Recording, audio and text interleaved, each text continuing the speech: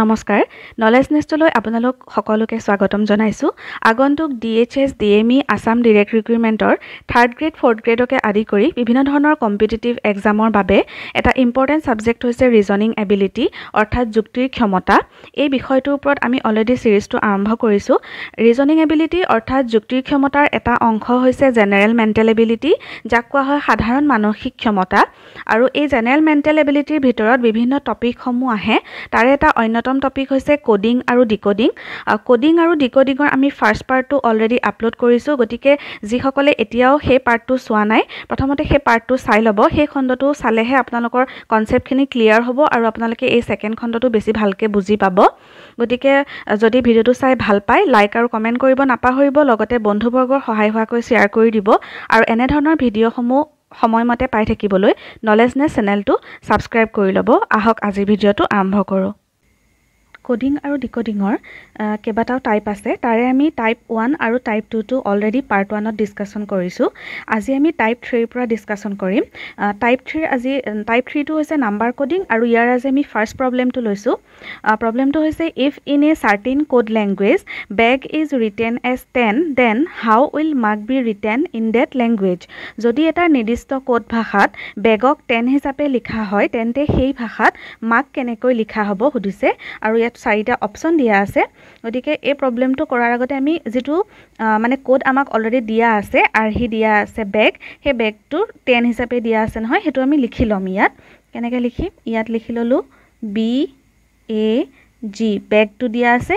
আৰু বেগটো কি হিচাপে ক'ড কৰা আছে? টেন গতিকে বিৰ আমি ফৰৱাৰ্ড পজিশ্যনিং এৰ ফৰৱাৰ্ড পজিশ্যনিং সেইকেইটা আমি লিখি ল'ম। বিৰ ফৰৱাৰ্ড পজিশ্যনিং কিমান? টু এৰ ফৰৱাৰ্ড পজিশ্যনিং কিমান? ওৱান আৰু জিৰ ফৰৱাৰ্ড পজিশ্যনিং কিমান? ছেভেন এতিয়া যদি আমি এই পজিশ্যনকেইটা ফৰৱাৰ্ড পজিশ্যনকেইটা যদি এড কৰোঁ তেতিয়া কিমান হ'ব? Two plus one plus seven এই পজিশ্যনকেইটা আমি এড কৰিলে পাম টেন অৰ্থাৎ ইয়াত যে আমাক বেগটো টেন হিচাপত লিখি দিছে তাৰমানে ইয়াত আমি ফিগাৰ আউট কৰিলোঁ বা সমাধা কৰিলোঁ যে বেগৰ ফৰৱাৰ্ড পজিশ্যনকেইটা এড কৰি টেন লিখিছে।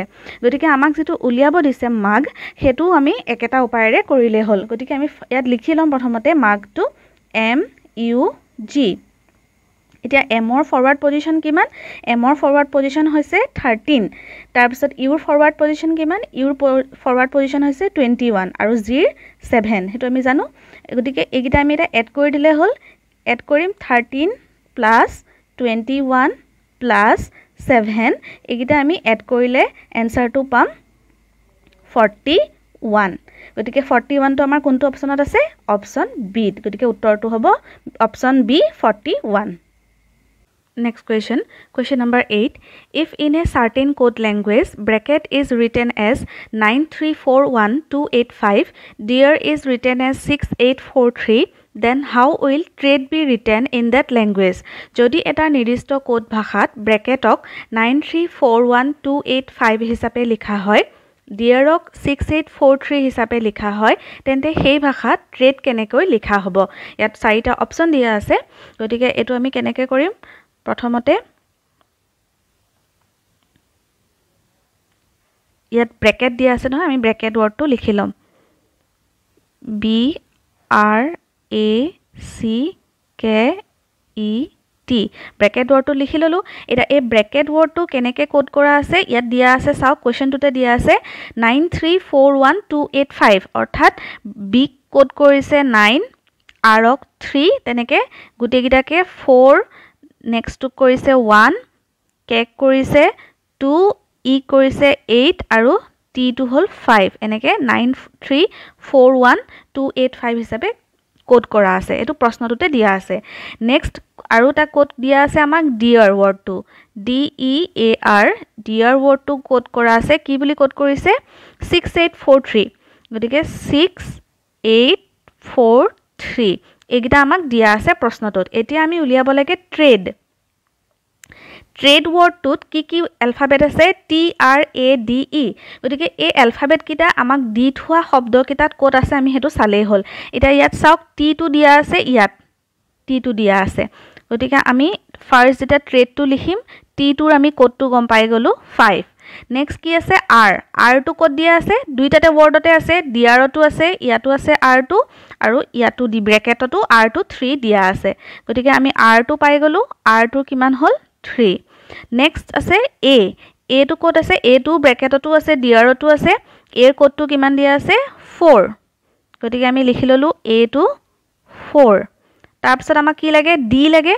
ডিটো ইয়াতে আছে ছিক্স গতিকে ইয়াত লিখি লওক ডিটো ছিক্স তাৰপিছত আছে ই এতিয়া ইটো দুইটা শব্দতে আছে আৰু ই নাম্বাৰটো কিমান আছে আমাক দি থোৱা? এইট গতিকে ই টু এইট গতিকে আমি ট্ৰেড আমাক লিখিব দিছিলে কোনটো ক'ডত আছে আমি ট্ৰেডটো কি পাই গ'লোঁ? Five three four six eight অৰ্থাৎ ইয়াত কোনটো অপশ্যন শুদ্ধ হ'ব? Option C five three four six eight বুজি পালে এতিয়া নিশ্চয়? Next question. If in a certain code language, geography is coded as 91596842, then geology can be coded as. যদি কোনো নিৰ্দিষ্ট কোড ভাষাত geographic nine one five nine six eight four zero' two হিচাপে code কৰা হয় তেন্তে জিঅ'লজিক কেনেদৰে কোড কৰিব পাৰি সুধিছে ইয়াত অপশ্যন চাৰিটা দিয়া আছে আৰু এই প্ৰশ্নটো আগৰ প্ৰশ্নটোৰ সৈতে সম্পূৰ্ণ একেই মানে পেটাৰ্ণটো একেই গতিকে আপোনালোকে এইটো নিজে ট্ৰাই কৰি চাব কৰিব পাৰিছেনে নাই আৰু আমাক পাৰিছেনে নাই কমেণ্ট কৰি জনাব আৰু নোৱাৰিলেও জনাব আমি আপোনালোকক সহায় কৰিম কৰি কৰাত। গতিকে এইটো একেবাৰে সহজ আৰু ইয়াৰ এনচাৰটো মই কৈ দিছোঁ আপোনালোকে নিজে ট্ৰাই কৰিব। Option B nine one five seven five nine two এইটো উত্তৰটো ওলাব লাগে অপশ্যন বি গতিকে এইটো আপোনালোকে নিজে এবাৰ ট্ৰাই কৰিব। নেক্সট কুৱেশ্যন নেক্সট কুৱেশ্যনটো আমি এতিয়া টাইপ ফ'ৰ থ্ৰীটো কৰি আছিলোঁ, আমি এতিয়া টাইপ ফ'ৰ আৰম্ভ কৰিম। টাইপ ফ'ৰটো হৈছে symbol coding based on similarity গতিকে চিমি ক'ডিং বেছড অন চিমিলাৰিটিৰ ওপৰত আমাৰ ফাৰ্ষ্ট প্ৰব্লেম লৈছোঁ আমি এইটো কুৱেশ্যন নম্বৰ টেন প্ৰশ্নটো আছে if in a certain code language down is coded as five at nine hash and name is coded as hash C six percentage three how would mode be written in that code যদি এটা নিৰ্দিষ্ট code ভাষাত ডাউনক five at the rate nine hash হিচাপে code কৰা হয় আৰু নেমক hash six percentage three হিচাপে কোড কৰা হয়। তেন্তে সেই কোডটোত বা সেই ভাষাটোত মোড কেনেকৈ লিখা হ'ব সেইটো সুধিছে। আৰু ইয়াত চাৰিটা অপশ্যন দিয়া আছে। গতিকে এইটো আমি কেনেকৈ কৰিম এতিয়া? প্ৰথমতে আমাক যিটো দিয়া আছে সেইটো আমি লিখি ল'ম। এতিয়া ইয়াত লিখি লৈছোঁ ডি অ' ডাব্লিউ এন ডাউনটো আমাক দিয়া আছে নহয়। ডাউনটো আমাক কি বুলি কোড কৰিছে? ফাইভ ডি টু ফাইভ তাৰপিছত অ' টু কি? এট অ' টু এট তাৰপিছত ডাব্লিউ টু নাইন আৰু এন টু হেজ এইটো আমাক দিয়া আছে। তাৰপিছত আৰু এটা আমাক দিয়া আছে নেমটো দিয়া আছে। গতিকে নেমটো আমি লিখি ল'ম। এন এ এম ই নেমটো আমি লিখি ল'লোঁ। কেনেকৈ কোড কৰা আছে? এনটোক কৰিছে হেজ এক কৰিছে ছিক্স এমক কৰিছে পাৰ্চেণ্টেজ আৰু ইক কৰা আছে থ্ৰী এইটো আমাক দিয়া আছে। এতিয়া আমি কি লিখিব লাগে? মড লিখিব লাগে। মড লিখিবলৈ হ'বলৈ আমাক ফাৰ্ষ্টতে কি লেটাৰটো লাগিব? এমটো লাগিব। এমটো ক'ত আছে চাওক? ইয়াত আছে এমটো এমটো কি হিচাপে ক'ড কৰা আছে? পাৰ্চেণ্টেজ গতিকে তলত লিখি লওক এইটো পাৰ্চেণ্টেজ হ'ল। তাৰপিছত আমাক কি লাগে? অ' লাগে। অ'টো লিখি লওক ইয়াত অ' ক'ত আছে? ইয়াত অ'টো ক'ড কৰা আছে? এড হিচাপে। গতিকে অ'টো কি আহিলে? এট তাৰপিছত আমাক লাগে ডি ডিটো ফাৰ্ষ্টতে আছে ইয়াত। ডিটো কি হিচাপে ক'ড কৰা আছে? ফাইভ হিচাপে ক'ড কৰা আছে গতিকে তলত ফাইভ লিখি লওক। আৰু কি লাগে? ই লেটাৰটো লাগে। আৰু ই লেটাৰটো ইয়াত কি বুলি ক'ড কৰা আছে? থ্ৰী বুলি ক'ড কৰা আছে। গতিকে আমি ইয়াৰ উত্তৰটো পাই গ'লোঁ। মডটোক আমি কেনেকৈ লিখিম? পাৰ্চেণ্টেজ এট ফাইভ থ্ৰী হয়? গতিকে ইয়াৰ উত্তৰটো কি হ'ব? অপশ্যনত থকা যিকেইটা অপশ্যন আছে সেইকেইটাৰ ভিতৰত অপশ্যন ডিটো যিটো লাষ্টত আছে সেইটো হ'ব শুদ্ধ উত্তৰ পাৰ্চেণ্টেজ এট ফাইভ থ্ৰী বুজি পাইছে?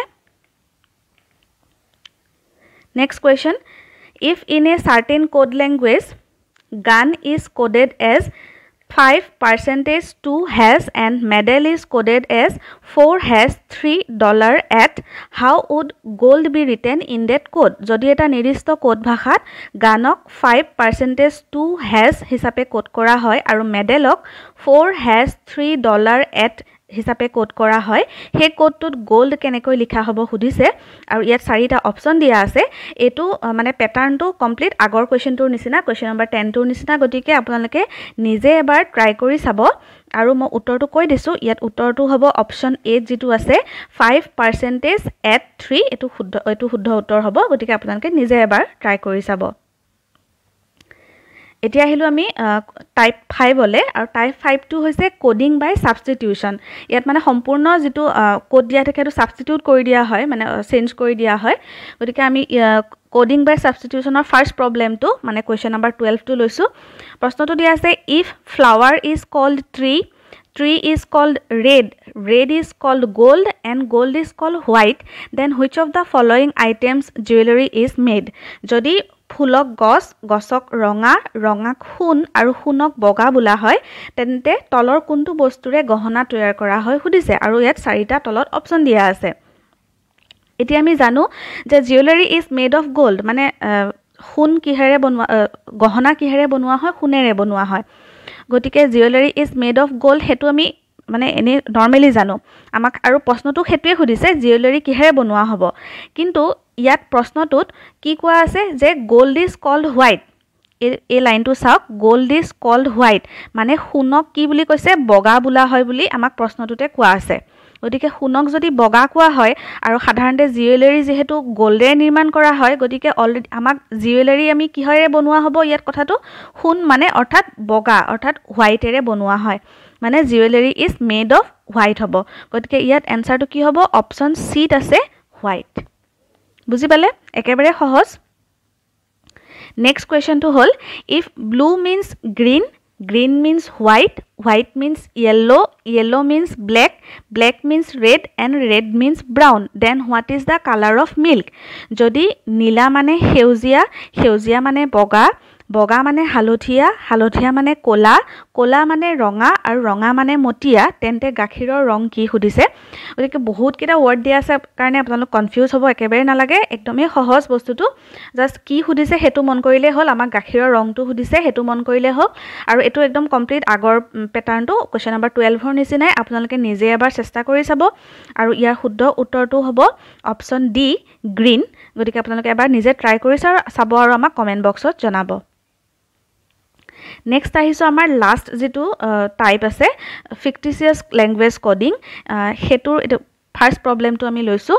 প্ৰব্লেমটো হৈছে if in a certain code language how can you go' is written as জা দা কা পা ইয়ৰ you come here is written as না কা চা এণ্ড কাম এণ্ড গ' ইজ ৰিটেন এজ ৰা পা চা then how will here be written in that language যদি এটা নিৰ্দিষ্ট কোড ভাষাত হাউ কেন ইউ গোক জা দা কা পা বুলি লিখা হয় আৰু ইউ কাম হিয়াৰক না কা চা আৰু কাম এণ্ড গোক ৰা পা চা বুলি লিখা হয় মানে কোড কৰা হয় তেন্তে সেই ভাষাত হিয়াৰ কেনেকৈ লিখা হ'ব সেইটো সুধিছে। আৰু ইয়াত অপশ্যন চাৰিটা দিয়া আছে গতিকে এইটো আমি কেনেকৈ কৰিম? প্ৰথমতে আমাক কি দিয়া আছে সেইটো আমি ফাৰ্ষ্ট মন কৰিলেই হ'ল লিখি ল'লেই হ'ল। এতিয়া হাউ কেন ইউ গ' লিখা আছে নহয় দিয়া আছে হাউ কেন ইউ গ' এইটো কেনেকৈ লিখা আছে প্ৰশ্নটোতে দিয়া আছে জা দা কা পা। হয়নে? গতিকে এইটো লিখি লওক জা দা কা পা। এইটো লিখি ল'লোঁ। নেক্সট আমাক কি দিয়া আছে? ইউ কাম হিয়াৰটো দিয়া আছে না কা চা হিচাপে। গতিকে আমি এইটো লিখি ল'ম। ইউ কাম হিয়াৰ এইটো কি দিয়া আছে? না কা চা। না কা চা। এইটো দিয়া আছে। আৰু এটা দিয়া আছে কাম এণ্ড গ' সেইটো কি বুলি লিখা আছে? ৰা পা চা হিচাপে লিখা আছে। কাম এণ্ড গ' সেইটো লিখি লওক। কাম এণ্ড গ' এইটো লিখা আছে ৰা পা চা। গতিকে এইকেইটা আমাক দিয়া আছে। আৰু আমাক সুধিছে যে আমি হিয়াৰটো কেনেকৈ লিখিম সেইটো ক'ডত সুধিছে গতিকে প্ৰথমতে আপোনালোকে চাব ফাৰ্ষ্ট চেণ্টেঞ্চটো আৰু ছেকেণ্ড চেণ্টেঞ্চটোত ইউ যিটো যিটো কমন আছে ইউ শব্দটো ইউ শব্দটো কমন আছে। এই ইউ শব্দটো প্ৰথমতে আপোনালোকে মাৰ্ক কৰি লওক। ইউ শব্দটো ইয়াত মাৰ্ক কৰি লওক। আৰু এই ইউ যে কমন আছে ইয়াত ফাৰ্ষ্ট চেণ্টেন্সটোত জা দা কা পা আৰু না কা চা এই দুটাৰ পৰা কি কমন আছে চাওক? কা এই কা ৱৰ্ডটো কমন আছে। মানে ইউ কমন আছে আৰু ইয়াত কা কমন আছে। তাৰমানে আমি গম পালোঁ ইউটোক কা হিচাপে কোড কৰা হৈছে। ইউটোক কা হিচাপে কোড কৰা হৈছে সেইটো আমি গম পাই গ'লোঁ। এই দুটা লাইনৰ পৰা। নেক্সট কি আছে? ছেকেণ্ড চেণ্টেন্সটো আৰু থাৰ্ড চেণ্টেন্সটোত কি কমন আছে? কাম ৱৰ্ডটো কমন আছে এইটো চাওক। কাম ৱৰ্ডটো কমন আছে। আৰু এইফালে কডিঙত কি কমন আছে সেইটো চালে আমি গম পাম। কডিঙত চা ৱৰ্ডটো কমন আছে। দেখিছে? কাম ইয়াত আছে ইয়াত চাহটো কমন আছে। তাৰমানে ইয়াৰ পৰা আমি গম পালোঁ কি কাম যিটো ৱৰ্ড সেই কাম ৱৰ্ডটো কি বুলি কোড কৰা আছে? চা বুলি কোড কৰা আছে? ইউক কা বুলি কোড কৰা আছে? কামক চা বুলি কোড কৰা আছে? এতিয়া আমাক কি সুধিছে? হিয়াৰ ৱৰ্ডটো সুধিছে। এই ছেকেণ্ড লাইনটোত ইউ আৰু কাম দুইটাৰে আমি কোডটো পালোঁ? অকল হিয়াৰটো বাকী আছিলে আৰু হিয়াৰটোত জেগাত হিয়াৰটোৰ যিটো কডিং সেইটোত অকল নাটোৱে বাকী আছে আমাৰ। হয়নে? গতিকে হিয়াৰটোক আমি কি বুলি কোড কৰিব পাৰিম? না বুলি কোড কৰিব পাৰিম? অৰ্থাৎ আমাৰ ইয়াত অপশ্যনটো কি হ'ব? ইয়াত নাটো ক'ত আছে? অপশ্যন বিত আছে। গতিকে শুদ্ধ উত্তৰটো হ'ব অপশ্যন বি না।